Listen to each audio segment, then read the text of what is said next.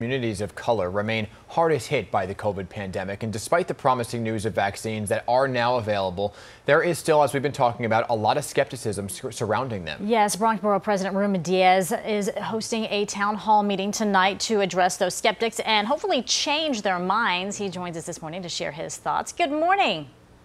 Good morning, Betty. Good morning, Dan. Good morning. I hope you and your family are well. Same to you. you. Thanks for stopping by today. All right, we want to get right down to it. How has this second COVID surge impacted the Bronx? Uh, look, we've continued to educate people and make sure that they get tested. But the fact is uh, that we still have a high percentage of positives. Uh, we've tested uh, uh, to date 1.5 million people in our borough.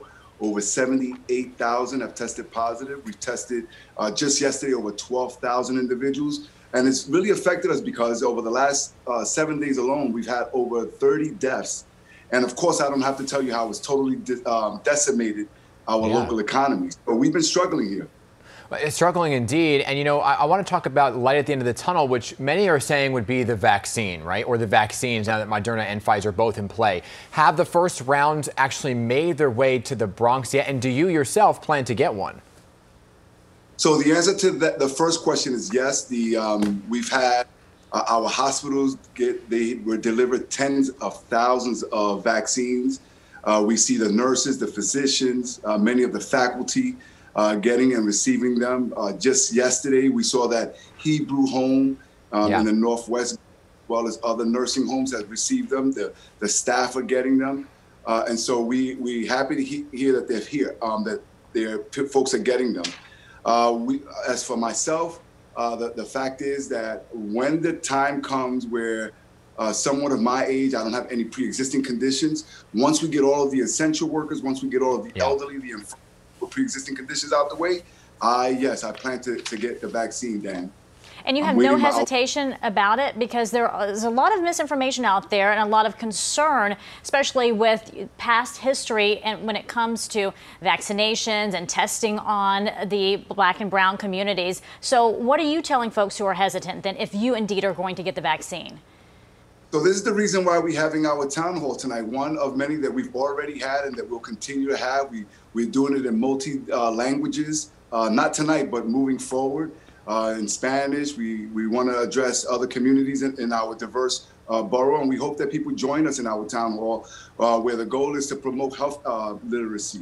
The, the, the, reality is that we want to raise awareness, we want to debunk misinformation. Many of the people in our community have a distrust of experimental medicines because traditionally in the past, we've quite frankly been used as guinea pigs. Yeah. but we want to have a, a a great panel of health experts that are Black and Latino, uh, leaders in, in the community, scientists who uh, will all give information out to the public about what's in the in the vaccine and also answer many of their questions.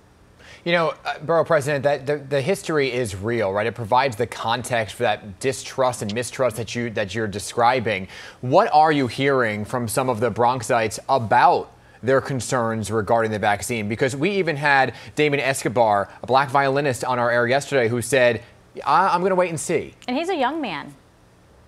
Well, people think that um, A was rushed too quickly. So we want to express to them how science has evolved in such a way where now we can get vaccines ready and safe and effective um, in a short period of time. In, in fact, the bureaucracy in the past or in the recent history has what what's delayed vaccines coming out. So we want the people say, oh, well, it happened too quickly. People mm-hmm. want to know uh, whether or not they would be immune, whether or not um, they would be um, uh, get infected once they right. get the vaccine. Uh, folks have all of these questions, and that's the reason why we've partnered up with Virginia Fields who is a credible um, health expert, the former Manhattan Borough president. Uh, she's president of the National Black Leadership Commission, and so many other doctors and presidents of, of uh, hospitals who are going to be there tonight to answer all questions, disseminate um, an overload of information as well. So it's not just misinformation, Dan. Right. But right. Uh, you, we want you to get it from the scientists, from the doctors, not from Facebook. Of course. Um, and we want to join us tonight. Uh, what time and where for people who want to watch virtually? So again, this is virtual. You go on Zoom. Um, you can register on Zoom, and you'll find um, the link there. And then we start at 6:30 tonight. Uh, but this will be one of many that we'll continue to have moving forward. Uh, when it is all said and done, uh, people need to realize that the vaccine is the only way that you can protect yourselves, your families, and the communities, and that we can go back to some level of normalcy as a society. Mm. Yeah, normalcy. That sounds so far away, but I guess we're progressing a little bit closer that each and every day as more mm. people get inoculated with this. Thank you so much. We appreciate your time. As always, great seeing you. And thanks for doing the Thank town you. hall. Happy, stay safe, everyone. Yeah, Happy right back at you. you.